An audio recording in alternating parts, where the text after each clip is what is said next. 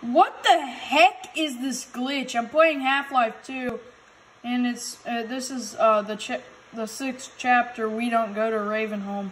What is wrong with this bird? The seagull is in the ground. Has anybody ever seen this glitch before? The seagull, it's like, well, it's dead now. That was weird.